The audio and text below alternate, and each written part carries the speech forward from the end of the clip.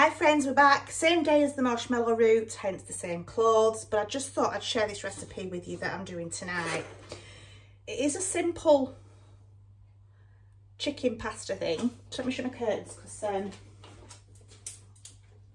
it's getting quite dark and grotty outside. We've had, like everybody else, we've had snow, wind, rain, icy rain. Snow most of this week. Oh, it's not been as bad as some places.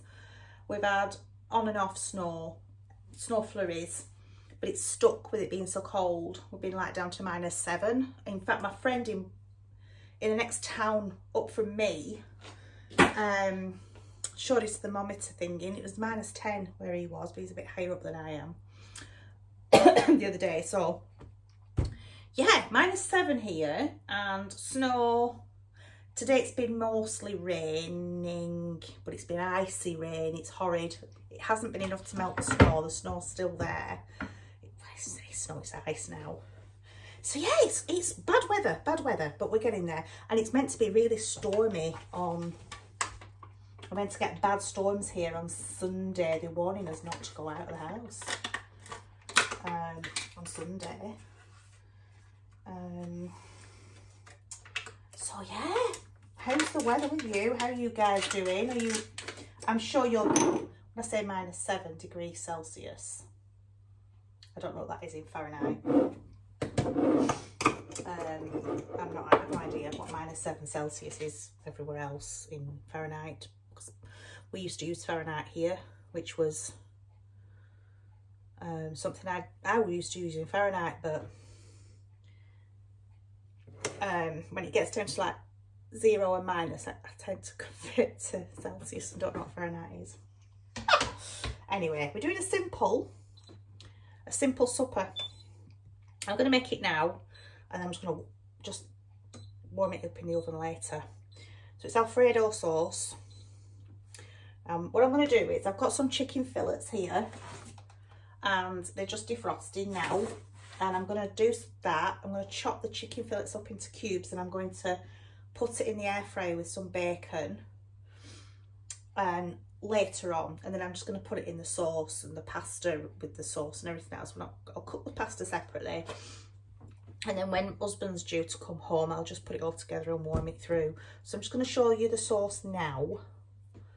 Um, because everybody knows how to put chicken and bacon in an oven on an oven tray or like I'm doing, shove it in the air fryer and cook it in that later on. So today, today's recipe is literally just about the Alfredo sauce. That's all that's about, really. Only, I've got a confession to make. It's not technically Alfredo sauce, simply because I can't find my Parmesan cheese. I think I must have used it all up. So I'm having to use a very, very mature, very sharp cheddar, which I'm a bit annoyed about. So technically, it's not really Alfredo, is it? It's close. It'll do. It's Alfredo between friends. So I'm gonna, right, I've put this Dutch oven on now. I'll turn the camera around. So I'm gonna pop the butter in. It's about a stick of butter, which I think is about four ounce. So we're just gonna melt that. Oh, yum.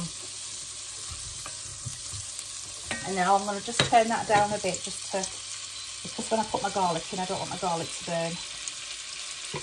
Just turning that down a little bit. So that's your butter, stick of butter in America, which is about four ounces.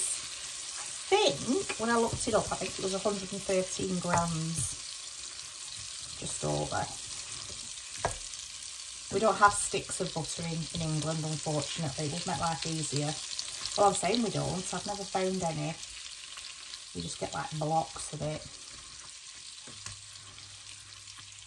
There we go. I think about 250 grams of butter we have, so it's about half a half a block of butter, I think, roughly. So then I'm going to pop some, just a pinch of salt, a generous amount of pepper, but then I put a generous amount. I'll put more pepper in, that's not enough for me.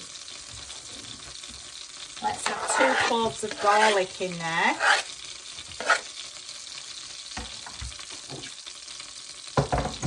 And then for me, because I like my garlic, I'm going to have to have an extra bit of garlic powder in there. Just for that extra power kick of garlic because I love it. And plus, like you know, with cold and flu season, so let's just throw as much garlic in our systems as we as we can. Oh, yum. So I've put salt, pepper, garlic, garlic powder as well, Italian herbs, just a sprinkle, sprinkle of parsley. I'm probably putting about a teaspoon each. Oh, look at that. Two cups of cream, double cream, or whip, heavy whipping cream if you're in America. Oh, look at that. Oh my gosh. Can I get that out with my... This cream is just too good to waste, isn't it? Let's get all that out. Oh, honestly.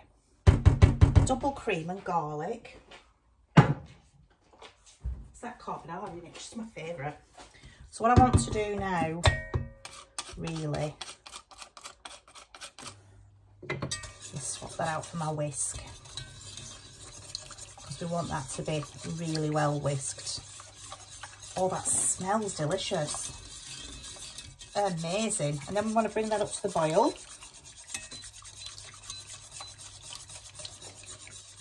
Oh, that's beautiful.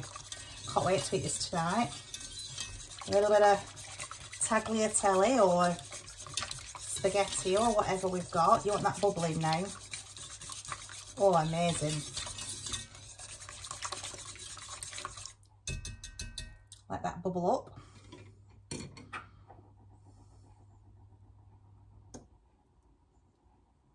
So it starts thickening. And then we'll be back. Okay, so that's bubbling really well now. So now I'm going to add two tablespoons of cream cheese. Now I normally just buy whichever the store has in, but because they had Philadelphia on offer this week, it worked out cheaper than the store brand. And I do prefer Philadelphia to any other. So figured while it was on sale, I would get two tubs. I'm going to turn it down a little bit now that it's bubbling and thickening. So we've got that Philadelphia whisked in really well now, that cream cheese. Oh, that's delish. And now we're going to pop two cups of what should be the Parmesan cheese, grated Parmesan cheese in there. But what I'm going to do, when I come to serve it, I will probably just sprinkle some of this over the top. Like a cheats method, isn't it? It'll be, oh, that's thickened up really well, that. That's, oh, splashing everywhere. That is really, really thick now. So, oh my gosh, that's delish. I'm just going to taste it actually. It smells delicious. I might have to put a little bit of um, milk in there just to, oh, look at that. That's sticking to the spoon, isn't it? Right, I'm just going to taste this just to make sure it's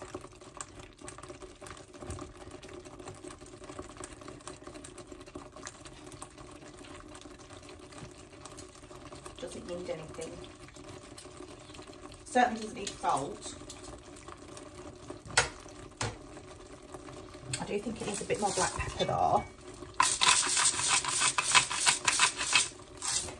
And I'm just going to add a tiny bit milk to this because it's a little bit too thick for my for what I want it for. That's better. You do want a double cream consistency really, which is, oh my days.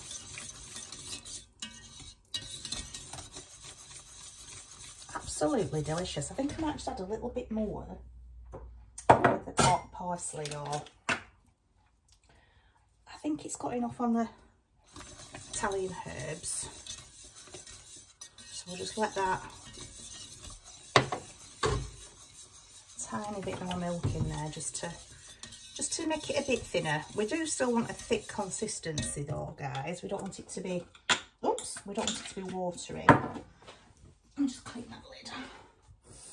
Just dropped on the floor. So yeah, that is as easy as Alfredo sauce gets friends. Let's turn you out. There So, I'm out of breath now, I don't know why. That is all there is to it if you've never made it before. I have been searching the store. Know my lid is for that. Up there.